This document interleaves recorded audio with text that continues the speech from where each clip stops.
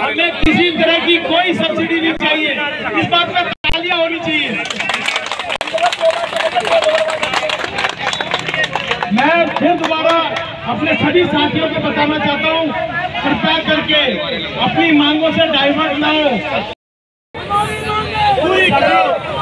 हमारी जो प्रमुख मांगे हमें सब मैं मौजूद हूँ सिविल लाइन के पास और यहाँ से एक चंद किलोमीटर की दूरी पर मुख्यमंत्री अरविंद केजरीवाल का आवास है और दिल्ली में ओला, उबर और टैक्सी के चालकों ने अनिश्चितकालीन हड़ताल की घोषणा की है और यहाँ पे सीएम आवास के नज़दीक भारी संख्या में ओला, उबर और ऑटो टैक्सी के ड्राइवर हड़ताल पर बैठे हैं, जिनकी मुख्य मांगे हैं कि सीएनजी के बढ़ते दामों को जल्द से जल्द कम किया जाए। इसके साथ ही जो केंद्र सरकार की के तरफ़ से लगातार दाम बढ़ रहे हैं, इसके भी खिलाफ इनका प्रदर्शन है और इनका कहना है कि दिल्ली में अगर शराब एक पर एक फ्री हो सकता है, अगर बिजली फ्री हो सकती है तो फिर सीएनजी पर टैक्स क्यों नहीं फ्री किया जाता है? और ये देखिए, आपके, हमारे हाथों में जो पोस्टर है, इसमें लिखा हुआ है कि बढ़ती हुई महँगाई के हिसाब से किराया ऑटो बीस रुपया प्रति किलोमीटर बढ़ाया जाए। वहीं सरकार सिटी टैक्सी पॉलिसी स्कीम 2017 तुरंत लागू करो। इसके बाद इनकी और भी बहुत तरह की मांगे हैं। इनका साफ़ तौर पर कहना है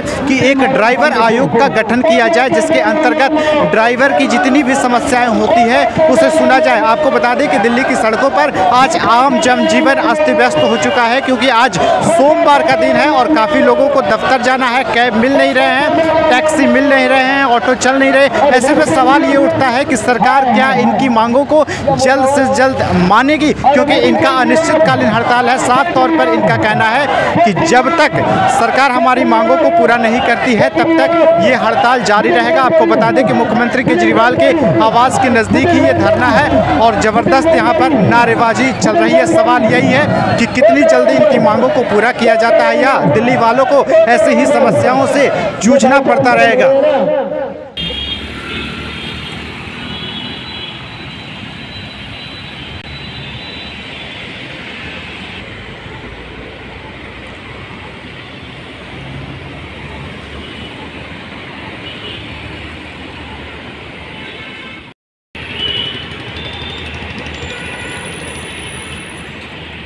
अरविंद केजरीवाल अरविंद केजरीवाल अरविंद केजरीवाल अरविंद केजरीवाल कैलाश कैलाश कैलाश कैलाश जो आप जंतर मंतर पे आठ तारीख को जो हमने प्रदर्शन किया था फिर सचिवालय पे भी किया और आज हम यहाँ सिविल लाइन पे बैठे हुए हैं। सिर्फ़ माननीय मुख्यमंत्री जी के घर से 500 मीटर दूर। और ये जो पीछे आप आवाज़ सुन रहे हैं ये आवाज़ उन तक पहुँच जाएगी। इसलिए हम यहाँ आके बैठ गए। इसे आप कोना ना समझिए। ये बहुत बड़ी मैदान है। ये माननीय मुख्यमंत्री जी की नींद से जगाने के लिए ये ड्राइवर यहाँ आके बैठे हैं। और शायद सुन लेंगे अब। क्योंकि दिल्ली एनसीआर में 80 से 90 प्रतिशत आज हमारी सर्विस बंद है। आज मैंने खुद अपनी आँखों से देखा है, लोग अपने घरों से निकले, मगर वो वापस चले गए। और ये इसके जिम्मेदार हम नहीं हैं। ये नहीं है, इसके जिम्मेदार वो हैं, जो आम थे, अब खास हो गए। जो कहते थे, हम ये नहीं लेंगे मंगना नहीं लेंगे, गाड़ी नहीं लेंगे। आज वो खास हो गए, एसी कमरे में बैठे हैं। और उन्हें ये नहीं चल रहा उनको इतनी शर्म नहीं आ रही है कि ये इधर ये ड्राइवर बेचारे दिन रात मेहनत करने वाले यहाँ उनके दरवाजे पे आके बैठे हैं। ये तो ड्राइवर की सरकार उनकी आई थी। ड्राइवरों को ही ये ड्राइवरों से ही आई थी। मैंने सचिवालय में भी यही कहा था लाए ड्राइवर ही थे और गिराएँगे भी यही। ये वापस भी इनको भेजने के लिए यही ड्राइवर हैं यही दिल्ली के लोग हैं। ड्राइवरों के साथ साथ अब दिल्ली के लोग भी इनके विरोध में है। क्यों? सीएनजी महँगी कर रहे हो आप शराबें आप सस्ती कर रहे हो सब जगह सब्सिडियाँ दे रहे हो। अरे किस लिए कर रहे हो आप ये? क्या ज़रूरत है भाई? आप एक के साथ एक फ्री दे रहे हो। अरे सीएनजी के साथ सीएनजी फ्री कर दो ना। मारने की स्कीम है ये तो। मार रहे हो? दिल्ली की जनता परेशान दिल्ली का ऑटो टैक्सी वाला परेशान दिल्ली का हर छोटा वो तबका परेशान। तो आपको थोड़ा बहुत सोचना चाहिए मुख्यमंत्री जी। हम लोग आपको लाए थे तो कम से कम हमसे बात तो कीजिए। आप बैठे रहते हैं, दिल्ली एनसीआर के किसी भी ड्राइवर का, किसी भी छोटे मोटे संगठनों को या बड़े हैं, उनको आप बुलाते नहीं बात करने के लिए। आप उनको बुलाते हैं, जो आपके चाटुकार हैं, जो उनके साथ आप बैठते हैं, एक कप चाय पीते हैं और बंद कमरे की रणनीति बनाते हैं उनको बाहर भेज देते हैं और वो आके यहाँ ड्राइवरों को बरगला देते हैं एक सवाल है कि आज आपने व्यापक हड़ताल की जो घोषणा की थी बहुत दिनों से इसकी तैयारी भी चल रही थी कि लेकिन दिल्ली की सड़कों पर हमने देखा कि कई ऑटो चालक आज भी ऑटो लेकर उतरे कहाँ चल रहे हैं? दिखाओ। उनका उनका साफ़ तौर पर कहना है कि महँगाई इतना है कि जीना बेहाल हो गया है और हम रोजी रोटी के सवाल के साथ खड़े हैं कमाएँगे नहीं तो खाएँगे कहाँ? कितना सार्थक होगा ये हड़ताल? ये हड़ताल अभी तक मैंने कहा 80 प्रतिशत सार्थक है। आपको शाम तक दी जाएगी 100 प्रतिशत।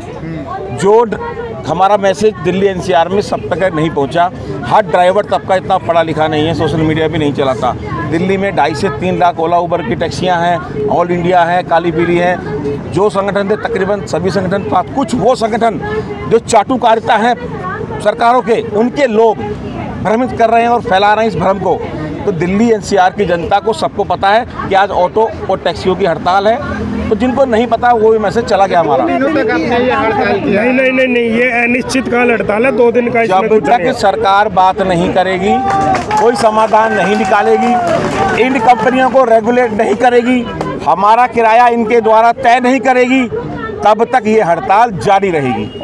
मुख्यमंत्री जी जग गए कि सो रहे हैं अभी? मुख्यमंत्री जी को शायद जग, जग गए होंगे यहाँ से आवाज़ पहुँच जाती है 500 मीटर पे बैठे हैं ज़्यादा दूर नहीं है। जब रावण जब रावण के ऊपर दिक्कत आई थी ना तो उसका छह महीने वाला सोने वाला भाई भी कुंभकर्ण जाग गया था। जब इसकी सत्ता पे दिक्कत आएगी ना तो केजरीवाल क्या केजरीवाल का बाप को भी जागना पड़ेगा।